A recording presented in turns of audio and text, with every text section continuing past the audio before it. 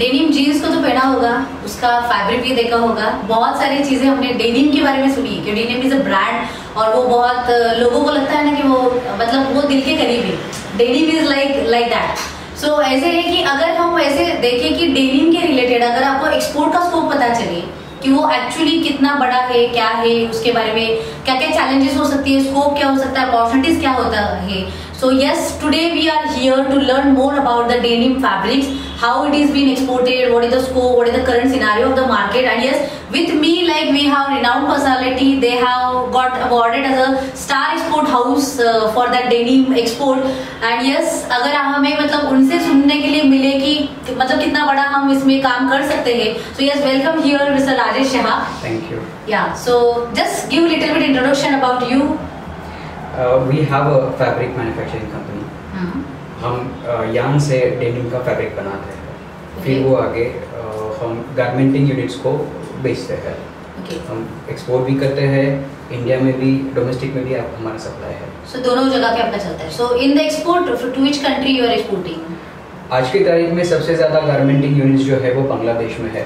European countries और American countries के जितने भी मैन्युफैक्चरिंग्स है गारमेंटिंग के उनका सेटअप एक अच्छा बांग्लादेश में है। So we are supplying to Bangladesh. हाँ। फिर वो आगे वहाँ पे गारमेंटिंग बन के उसका एक प्रोडक्ट जैसे हम जीन्स कहते हैं या शर्ट्स कहते हैं वो बन के आगे जाता है। ओके सो जितना मैंने मतलब मार्केट में जितना कहा जाता है उसमें क्या कहा जाता है कि Bangladesh is number one exporter for textile ji.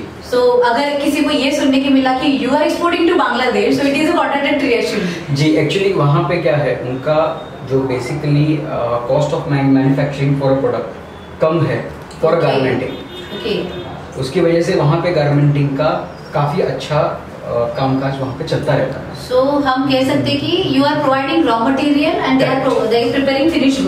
And because of the cost of production is low so why it is might be the labour और labour is cheaper. For garmenting Okay, okay, okay. Because of that. So, what do you think? Like how, uh, like from uh, how many years you are into this business? Uh, we started with basically grey manufacturing हम basic यान से uh, कपड़ा बनाते थे जो। Shooting shading को आगे जाता था okay. तो धीरे धीरे उसमें हम as you can say we have into weaving हाँ, हम कपड़ा बनाते थे वीविंग. प्लान था हमारा Okay. तो धीरे धीरे उसको बढ़ाते बढ़ाते फिर पिछले तीन साल में we came into dyeing unit जहाँ डेनिम का प्रॉपर डाइंग होता है okay. और फिर उसका डेनिम का कपड़ा बनता है उसको फिनिशिंग करते हैं और वो जो हम कपड़ा पहनते हैं हम्म। वो फिनिशिंग उसमें आता है Okay. तो ये बेसिक एक ब्लू कलर का कपड़ा रहता है जो हम कहते हैं जिसको इंडिगो कहते हैं हाँ हाँ. और फिर जब उसका गारमेंटिंग बनता है तो फिर उसको अलग अलग डिज़ाइन है या हम मंकी वॉश कहते हैं या अलग अलग हाँ, right, right. वो अलग-अलग, वो गारमेंटिंग में आता है So वो आगे मतलब किए जाते हैं. So basically कपड़ा सेम ही होता है. और उसके बाद मतलब लोगों को ऐसे लगेगा इवन आई थॉट ऑल्सो कि लाइक वो डिफरेंट डिफरेंट ही आता है नहीं। और डिफरेंट कपड़े से मतलब ये सारा बनता है। ओके ओके हाँ अलग अलग कपड़े के टाइप्स रहते हैं लेकिन उसका एक बेसिक कलर रहता है ब्लू या हाँ। ब्लैक है या ग्रीन है। ओके तो बाद में आके जाके फिर उसका गारमेंटिंग बनता है तब उसमें अलग अलग वॉश है या लाइंस आती है या आप देखते हो कि कपड़ा कहीं से यहाँ से अगर आप फटा हुआ है फटा या हुआ है या उसका कोई हाँ, डिज़ाइन हाँ, है हाँ। वो वो सारे डिज़ाइन गारमेंट्स में डेवलप बाद में किए जाते हैं। So you are basically exporting fabric fabric you are making made up of yarn Yarn. So उससे बनाया जाता है। और कितने सालों से ये बिज़नेस चल रहा है अभी? अभी हम बेसिक यान टू फैब्रिक में uh, 2010 से है। Okay so almost we can say 12 years. Like बढ़िया 12 सालों में बहुत सारे मतलब uh, चीज़ें देखी होगी मार्केट की या तो थोड़ा सा चैलेंजेस यू हमने यान का बॉटम भी देखा है और आज के तारीख में यान या कॉटन आज सबसे हाईएस्ट रेट पे है अभी तक के।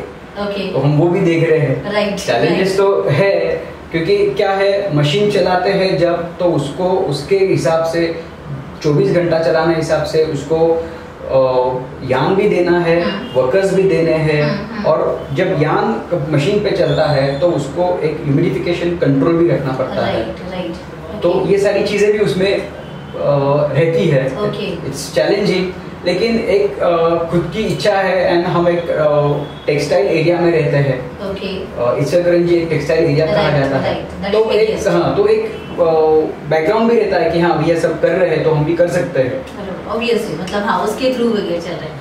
So in terms of textile business अगर मैं कहूँ तो like we have seen the sectoral businesses food का अलग होता है इंजीनियरिंग का अलग होता है। In terms of textile business like what are the challenges of this industry basically इसमें बेसिक जो चैलेंज है जो समझने की ज़रूरत है that is reducing your cost क्योंकि क्या है इसमें आप कॉस्ट रिड्यूस करने के लिए आपको ज़्यादा प्रोडक्शन करना इम्पोर्टेंट है। Okay so volume you need to increase ये वॉल्यूम बेस ही बिज़नेस है। Okay. इसमें अगर आप टेक्सटाइल में कुछ अलग बना रहे हैं या नीच मार्केट में अगर आप जा रहे हैं तो आप समझ सकते हो कि भैया आपका कॉस्ट बढ़ गया फिर भी वो मार्केट में एक्सेप्टेबल है। लेकिन ज़्यादातर जो बिज़नेस है वो बल्क मैन्युफैक्चरिंग का है. तो उसमें आपको आपका एमएससीबी कॉस्टिंग संभालना है हम्म, या आपका अगर आप लोन कर रहे हो तो लोन का इंटरेस्ट ये सारी चीज़ें अगर आपको चल, समझ के चलना है तो आपका बेसिक जो मार्जिन है वो बहुत कम हो जाता है तो इसकी वजह से आपको बल्क में जाना ज़्यादा ज़रूरी है So volume is the only answer for that. Okay. And apart from the like other, so what is the market challenges for the textile industry? We can say.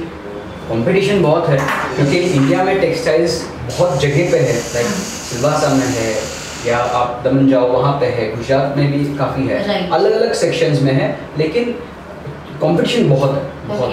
Okay. Karnataka में है कोयम्बतूर में है to beat that competition you have to be perfect in your cost and perfect in your price price negotiation तो हर जगह होता है। तो है तो आप कैसे सामने वाले को आपका माल बेच रहे हो So that is वो- important that is- part. Okay. And how you develop the market? So कैसा है एक्सपोर्ट में जब हमने चालू किया था तब ऐसा था कि हमें सामने वाले का प्रोडक्ट नहीं पता था हम्म। हमारा प्रोडक्ट सामने वाले को नहीं पता था Okay. तो कहीं ना कहीं कुछ बीच में लोग रहते हैं Right. जो अपना प्रोडक्ट सामने दिखा देते हैं या सामने वाले का प्रोडक्ट हमारे पास आता Right, है right. तो हमको उसको एनालिसिस करके उस टाइप का प्रोडक्ट बना सकते हैं हम्म। या तो फिर हमारा प्रोडक्ट उस लेवल पे मैच हो जो एग्जिस्टिंग हाँ, प्रोडक्ट को समझ के आगे बढ़े Okay. तो उस हिसाब से हमारा डेवलपमेंट होता रहा Right. और फिर ऐसा हुआ कि हमारा प्रोडक्ट सामने एक्सेप्ट भी हुआ हाँ। In terms of quality in terms of price in terms of certification जो भी उनको लगते हैं सर्टिफिकेशन यहाँ के सर्टिफिकेशंस है या कोई और सर्टिफिकेशन है Okay. तो उस हिसाब से जब प्रोडक्ट मैच होता है तो फिर वो एक कनेक्शन बन जाता है और अपना And एक- yes, एक my line customer चालू is हो जाता है। So what do you think like uh, comparatively domestic market and international market? So which one is the more beneficial or we can say like to वो beneficial है both yeah क्योंकि आज के तारीख में जीन्स ऐसी चीज़ है जो हर कोई हर कोई पहनता है है yes no age शर्ट है limitation या पैंट है. हर कोई पहनता ही है right ऐसा है कि उसकी डिमांड आज के तारीख में बहुत ज़्यादा है hmm, hmm. उसके हिसाब से सप्लाई भी बहुत ज़्यादा है right तो आपको यही समझना है कि आप कैसे उसमें और कहाँ तक आप जा सकते हो। एक्सपोर्ट मार्केट में आज की तारीख में हम जैसे हम बांग्लादेश अब सप्लाई कर रहे हैं तो custom is one of the challenge क्योंकि आप समझ सकते हैं कि पिछले तीन महीनों में कस्टम्स का जो यहाँ से बांग्लादेश जाता है पेट्रापोले बेनापोले Yeah. पोर्ट पे वहाँ पे काफ़ी प्रॉब्लम्स थी और Okay. उसकी वजह से वहाँ पे काफ़ी बॉटलनेक बन गया okay, okay. तो ये एक सबसे इम्पोर्टेंट चैलेंज है अगर आप एलसी में काम कर रहे हो तो hmm. आपकी एलसी एक्सपायरी के पहले मटेरियल वहाँ पहुँचना चाहिए सबसे बड़ा चैलेंज है आपको आप माल तो बना लोगे आप दस दिन में लेकिन उसके बाद अगले एक डेढ़ महीने में आपका एल सी एक्सपायर होने के पहले वो यहाँ पे डिलीवरी होना चाहिए वो सबसे बड़ा चैलेंज है Okay. And many people actually I have seen in the industry like they don't have the banking knowledge, they don't have the LC knowledge. So उनको बस इतना पता है कि LC is the security of the payment. So just get the LC, material बनाओ और भेज दो.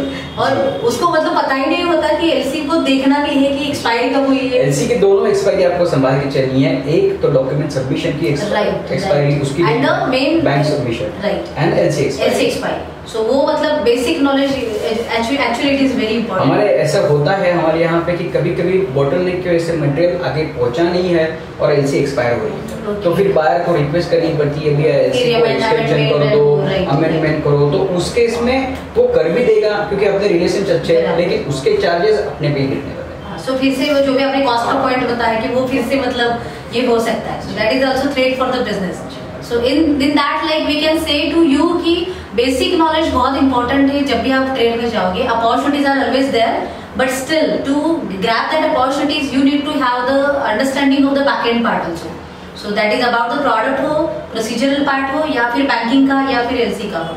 सो बांग्लादेश के केस में what do you think like कि जैसे हम बोलते हैं ना कि Dubai is like this market Africa is like this market so what about Bangladesh Bangladesh में सारा काम एलसी से होता है। And they honour that LC okay ये सबसे अच्छी बात है बांग्लादेश की। और उसकी वजह से क्या है कि जब हम चालू करते हैं बिज़नेस तो एलसी आती है इट्स अ रिनॉन बैंक से एलसी आती है डबल ए रैंकिंग या ट्रिपल ए रैंकिंग से। जो एलसी आती है। तो वो ऑनर होने वाली है इसका एक एश्योरेंस रहता है। Okay. क्योंकि वहाँ का सारा बिज़नेस जो है टेक्सटाइल में गारमेंटिंग में वो एलसी के थ्रू चलता है। ओके तो डेफिनेटली एलसी है। हाँ अब एलसी कुछ लोग एलसी एक्सेप्टेंस भी डालते हैं। 120 दिन की एक्सेप्टेंस रहती है। ओके या तो अ, कुछ लोग एलसी एट साइड भी कर देते हैं। Okay. तो वो आपके नेगोशिएशन का पार्ट है। म्यूचुअल अंडरस्टैंडिंग बिटवीन आप कैसे कन्विंस कर रहे हो उसके ऊपर है. बट एलसी का काम अच्छा रहता है and they do that do that right. So in in short like i- in the payment terms you mentioned right now so जैसे जितना अभी मैंने मतलब जितने ट्रेनिंग चलते हैं जितने लोगों से मिलते हैं बहुत सारे लोगों का एक इशू मैंने देखा in the Indian market so they feel that कि हम तो बेचेंगे लेकिन हमें एडवांस पे ही चाहिए। So we just want to do on the advance work in case of Bangladesh नहीं होता ऐसा। राइट बांग्लादेश का जो बेसिक टेक्सटाइल का जो सेक्टर जो मैं अभी देख रहा हूँ हाँ। वहाँ पे एलसी से ही काम होता है। हमने भी पहले सोचा था कि 30 परसेंट या 40 परसेंट एडवांस लेकिन उनका वो सिस्टम ही वहाँ पे बैठा हुआ है इवन विद द बैंक्स वो कहते हैं कि एलसी ले लो कोई प्रॉब्लम नहीं। ओके और एलसी मिलने के लिए उनके पास उस तरीके के फंड्स भी अरेंज रहते हैं। इसकी वजह से बैंक इज़ आल्सो प्रमोटिंग कि ठीक है एलसी ले लो कोई दिक्कत नहीं. So it is actually one of the security we can say.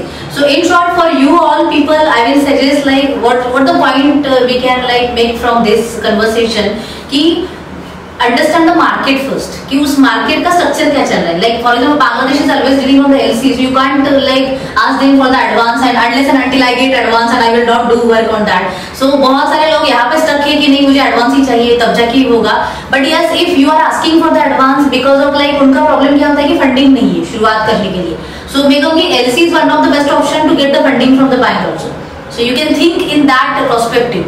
So in short, as a uh, like so many years in the business of export, we can say, and I know from you like many years and about your international business experience. So what you guide to the uh, like people who are watching you and uh, in this textile industry, we can say in the international business, like what is your suggestion to them that they should follow and they can uh, get the success? If you are starting with a new business in textiles, always start with the sm- Slowly and gradually you pick up the training so you will be understanding the small, small uh, niche market where you can capture. You can understand small, small problem that you will face, and definitely you can go with the trading. And once you are very easy with the trading, you can enter into the manufacturing also.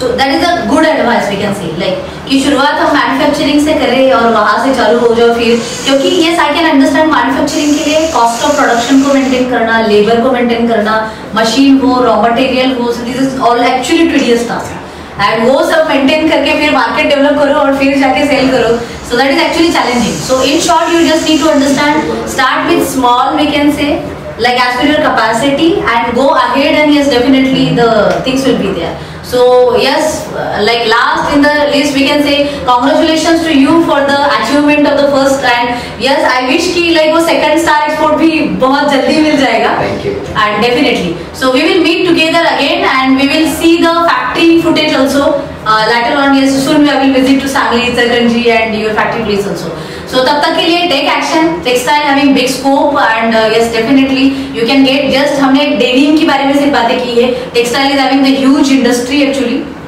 and lot many products It's, and it's very vast market. it's very vast market actually. So how you can highlight anything about the other part of textile if you can uh, say a little bit See, about that. uh, before starting denim, we were into grey market only. So Huh. basic yarn to fabric we were manufacturing. Okay. So that's a good start. right. Okay. And uh, if you if you're looking for a trading, you can start with the grey fabric uh, trading. Okay. This is what we are talking about the only uh, for the variables. Right. You can also think about uh, tent fabric, Okay. which is a canvas fabric, Right. which is also used for the shoes. Hmm. We can also think for uh, saris, where where you have uh, hand hand handlooms, Right. Right. and that market is uh, it's, it's small, Hmm. but uh, if you are looking for hand uh, looms, it's Okay, small, okay. but it is uh, in terms of quality it is very good Okay. so you can think about saris or you can think about shawls like Mm. Uh, in the kashmirs you you see pashmina shawls Nice. so that is also a different kind of a market Okay. it have a different kind of a kind of a perspective because that is not a, a bulk market Right. uh, it's so a quality, niche, like yeah, it's, a, it's a quality market. yeah. It's a quality. The, the prices of uh, the material or product is depend on the quality. Yes, So yes. that is also a different uh, type of a section. Yeah. You can think. of. Right, actually, so it, it means we can say like depend on your trades, your trade skills uh, plus minus strength.